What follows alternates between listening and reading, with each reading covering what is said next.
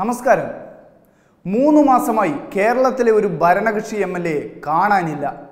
ആർക്കും പരാതിയില്ല. പാർട്ടിക്ക് വേവലാതിയില്ല. ഒടുവിൽ ആഫ്രിക്കയിൽ എവിടെയോ ആണ് അദ്ദേഹമെന്ന് അറിഞ്ഞു. എന്ന് മാത്രമല്ല താൻ ഒരു സ്വർണ വജ്രഗനി വാങ്ങാൻ പോയതാണെന്ന് അദ്ദേഹം കഴിഞ്ഞ ദിവസം വീഡിയോ പോസ്റ്റ് ഇടുകയും ചെയ്തു. ആഹാ ഓഹോ അരെ വാഹ് എന്നൊക്കെയായിരുന്നു സഖാക്കളുടെ കമന്റുകൾ പിറ്റേന്ന് സി പി എമ്മിന്റെ സ്ഥാനാർത്ഥി ലിസ്റ്റ് വന്നപ്പോൾ അദ്ദേഹം അതായത് പി വി അൻവർ എന്ന ഉത്തമ സഖാവ് നിലമ്പൂരിൽ തന്നെ വീണ്ടും മത്സരിക്കുമെന്ന് പ്രഖ്യാപനമുണ്ടായി. നിഷ്കളങ്കനായ അദ്ദേഹം ആ സമയത്ത് ഇതൊന്നും അറിയാതെ ആഫ്രിക്കയിൽ നിന്ന് കേരള രാജ്യത്തേക്കുള്ള വിമാനത്തിൽ നല്ല ഉറക്കത്തിലായിരുന്നു. ഇതാ ഇന്ന് അദ്ദേഹം കരിപ്പൂരിൽ വിമാനമിറങ്ങിയിരിക്കുന്നു.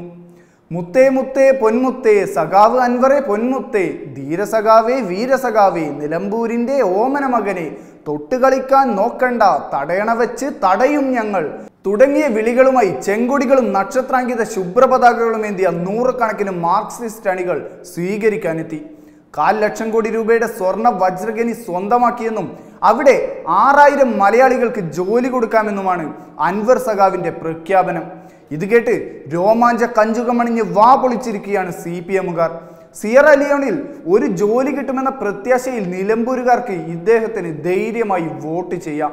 ഇടതിന് ഭൂരിപക്ഷം കിട്ടുകയും അൻവർ ജയിക്കുകയും ചെയ്താൽ അടുത്ത ധനകാര്യമന്ത്രി ഇദ്ദേഹമായിരിക്കുമെന്ന് ന്യായമായും കരുതാവുന്നതാണ്.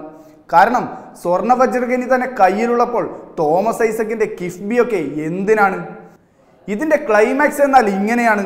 അൻവറിനെ സ്വീകരിച്ചാനയിച്ച് വീട്ടിലേക്ക് ക്വാറന്റൈൻ അയച്ച ശേഷം സഖാക്കളെല്ലാം അംബാനിക്കും അദാനിക്കും ഖനി മാഫിയയ്ക്കുമെതിരെയുള്ള പ്രതിഷേധ സമരത്തിലേക്കാണ് പോയത്. ന്യൂസ് ഡെസ്ക് തത്വമേ ന്യൂസ്.